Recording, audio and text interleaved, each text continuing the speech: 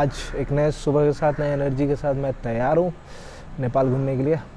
आज मैं बहुत सारे मंदिर वगैरह घूमने वाला हूँ, बहुत सारे जो भी टूरिस्ट प्लेसेस से घूमने वाला हूँ तो आप वीडियो के साथ बने रहें। और मैं जिस हॉस्टल में रुका हुआ हूँ, उसकी व्यवस्था बहुत ही अच्छी है बेड्स बहुत क्लीन थे, हमें लॉकर रूम भी दिए गए थे वॉशरूम्स भी बहुत क्लीन थे, सारे, सारी सारी चीज़ अच्छी थी तो मुझे बहुत अच्छा लगा। कुछ समय पहले मैं नेपाल के मार्केट में गया था, वहाँ मुझे कुछ शॉपिंग करनी थी, मुझे ख़रीदना था ये। कुछ भी इनर जिससे मेरे को गर्म लग सके, क्योंकि बहुत ही ज़्यादा ठंडा है यहाँ पे। So right now I am on the streets of Nepal और मैं अभी एटीएम की तलाश में हूँ। आसपास में कहीं एटीएम दिख नहीं रहा है। ऐसे यहाँ के घर बहुत ही छोटे छोटे हैं। नेपाल का फ्लैग आपको दिख रहा होगा ऊपर। बहुत से लोग घूम रहे हैं यहाँ पे। तो फाइनली सामने एक नेवल बैंक का एटीएम दिख रहा है चलो पैसे वहीं से निकाल लेते हैं मुझे बस अपना कार्ड लगाकर चेक करना है कि एटीएम में मेरा कार्ड काम कर रहा है कि नहीं You will be charged an additional NPR 500 by Nebel for this transaction. This access fee is an additional to any fees which may be charged by your card issuing financial institution. Continue transaction. मतलब मैं three thousand का transaction कर रहा हूँ तो plus five hundred Nepali ये charge करेगा। फ़िलहाल कर लेते हैं। कार्ड मेरा बाहर आ चुका है। कैश नहीं आया अभी तक। और ये मेरा कैश भी बाहर आ चुका है। ये थाउज़ेंड थाउज़ेंड के दो नोट है। और फाइव हंड्रेड फाइव हंड्रेड के दो। तो मैंने फाइनली इनर खरीद लिया है। और मैंने काफ़ी शॉप्स में पता किया तो कुछ शॉप्स ने दस हज़ार नेपाली पैसे बोले किसी ने पाँच हज़ार बोला और फाइनली मैंने एट हंड्रेड में इनर ख़रीदा है। तो आप भी जब आओ तो दो चार दस शॉप्स पे कम से कम आकर के पूछताछ ज़रूर करो। दोपहर के बारह बज चुके थे तो मैंने यहीं पे एक लोकल ढाबे पे लंच किया। नेपाल में खाना काफ़ी सस्ता है चाहे नॉनवेज हो या वेज हो। तो मैंने लिया है रोटी और एग करी और ये मुझे पड़ा है 130 नेपाली रुपीस। दिन की शुरुआत एक तगड़े लंच के साथ। तो काठमांडू की इन खूबसूरत गलियों में घूमते हुए मैं दरबार स्क्वायर की तरफ़ बढ़ रहा हूँ।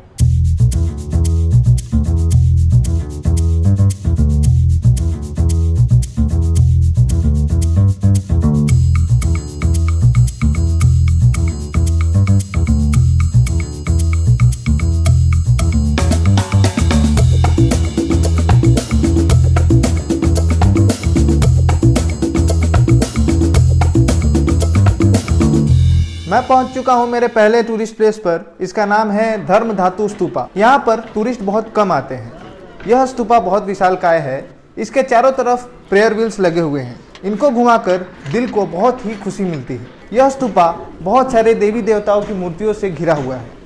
और काठमांडू के बाकी सभी स्थलों की तरह यहाँ पे भी कबूतरों का बोलबाला है। यहीं पर एक गौतम बुद्ध की मूर्ति भी लगी हुई है। यहीं पे है यह घर जिसके आर्किटेक्चर ने मेरा ध्यान खींचा। धर्मा कृति बिहार। आई थिंक ये बौद्ध धर्म प्रचारकों का मंदिर या ऑफ़िस है। और यहीं पर है दुर्गौन जंगचुक मोनेस्ट्री फ़िलहाल तो ये बंद है। अगर खुला होता तो मैं आपको अंदर लेकर ज़रूर जाता। जैसा कि मैंने बताया कि इस जगह के बारे में बहुत कम लोगों को पता है तो यहाँ टूरिस्ट भी बहुत कम आते हैं। पर आप यहाँ पे लोकल लोगों से मिल सकते हो और लोकल कल्चर को और अच्छे से जान सकते हो। वैसे मुझे एक बात पता चली है कि लोग यहाँ पे स्तूपा के ऊपर भी जूते पहनकर आ जा सकते हैं। नेपाल में कैंडल्स के दिए जलाए जाते हैं और ऐसा एक शॉप हर मंदिर के पास होता है, जहाँ से आप दिए खरीद सकते हैं। और जैसा कि हर मंदिर के आसपास बहुत सारे दुकान होते हैं, यहाँ पे भी बहुत सारे दुकान हैं। तो आप यहाँ पे लोकल कल्चर से इंस्पायर्ड आर्ट एंड क्राफ्ट खरीद सकते हैं।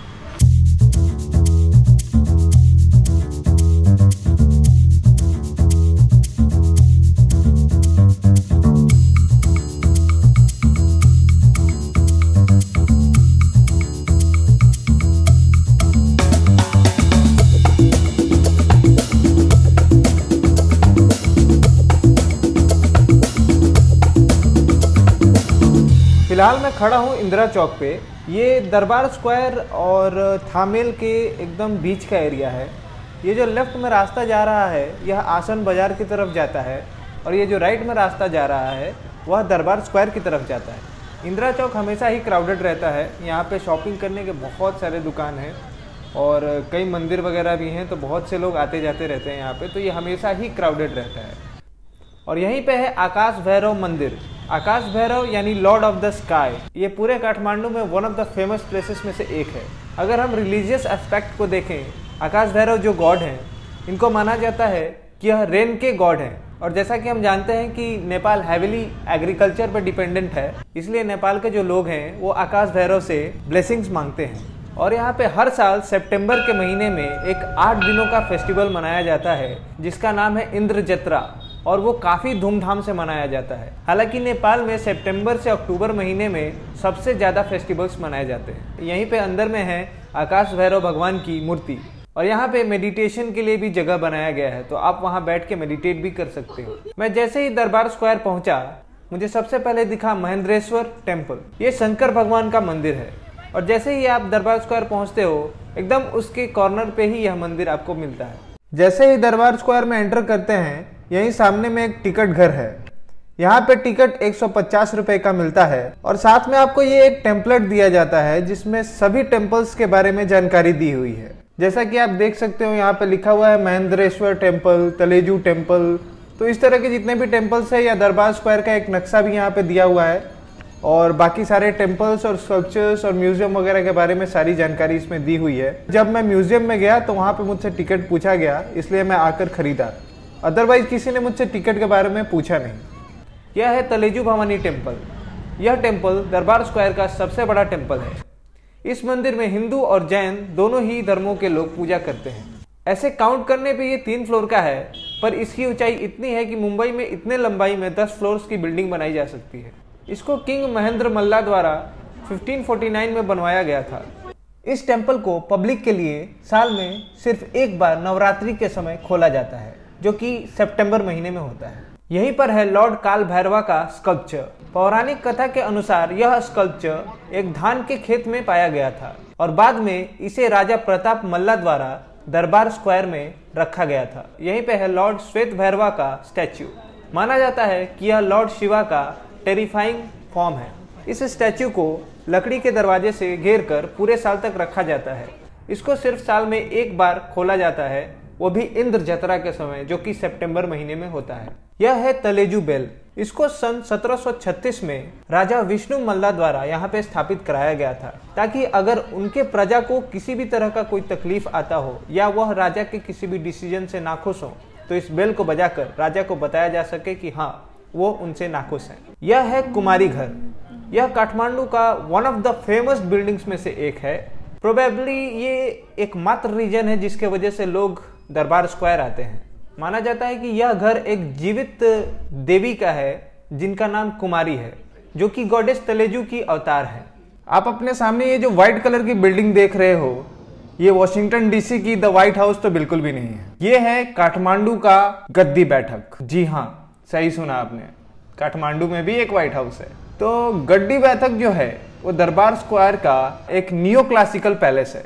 यह 1908 में चंद्र शमशेर जंग बहादुर राणा द्वारा बनाया गया था और इसका उपयोग राज्य अभिषेक और अन्य देशों के राजाओं का स्वागत करने के लिए किया जाता था।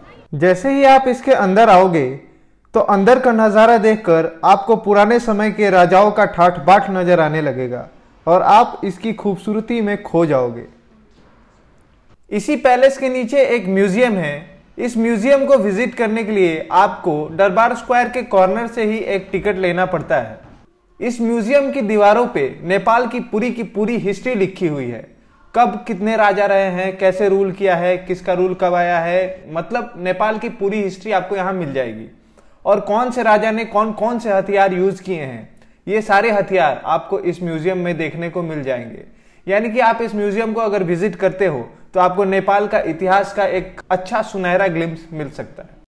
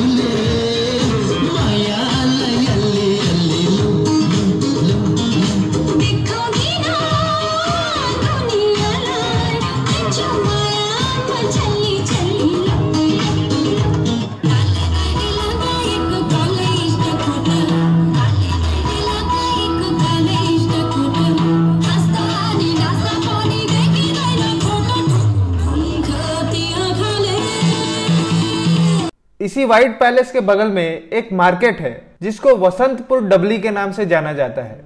जहाँ पे आपको बहुत सारे आर्ट एंड क्राफ्ट बेचते हुए बहुत सारे छोटे छोटे छोटे छोटे दुकान देखने को मिल जाएँगे। और आप यहाँ से यादगार बहुत सारी मूर्तियाँ, खंजर और वो एक सिंगिंग बाउल बोलते हैं उसको, कड़ा वगैरह या फिर और भी बहुत सारी चीज़ें यहाँ से आप खरीद सकते हो। बहुत ही सस्ते प्राइस में मिलता है तो आप एक बार यहाँ पे आकर ट्राई ज़रूर करो। और यहीं पे बगल में वॉशरूम का भी व्यवस्था है तो आप यहाँ पे आके अगर आपको वॉशरूम लगता है तो आकर यहाँ वॉशरूम कर सकते हो। ये बिल्कुल फ्री है। दरबार स्क्वायर घूमने के बाद अब मैं हॉस्टल की तरफ़ जा रहा हूँ।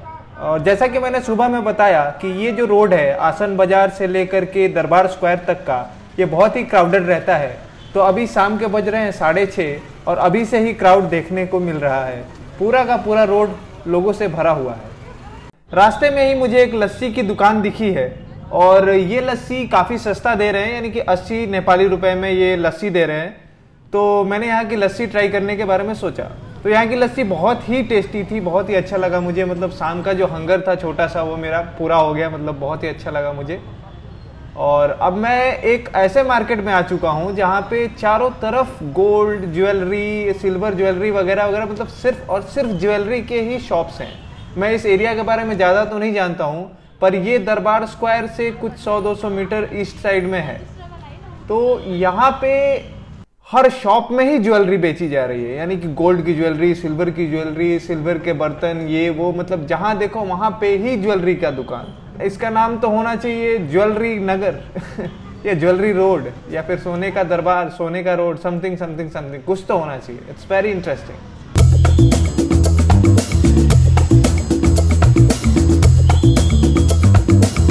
और अब मैं रात का खाना खा रहा हूँ, इसके बाद मैं जाके घर पे सो जाऊँगा। सेम मैं उसी जगह पे एक छोटे से होटल में खाना खा रहा हूँ। नेपाल में बहुत सारे ऐसे छोटे छोटे होटल मिल जाएँगे तो आप वहीं पे खाना खाओ, उनका भी कुछ हेल्प होगा और आपको खाना बहुत ही अच्छा मिलता है। तो नेपाल के खाने के बारे में तो मैं पहले ही बोल चुका हूँ कि खाना बहुत अच्छा होता है यहाँ का और बहुत सस्ता भी होता है तो वेल एंड गुड आज का ब्लॉग मैं यहीं पे ख़त्म करता हूँ। कल मिलते हैं एक नए ब्लॉग के साथ। Bye bye good night see you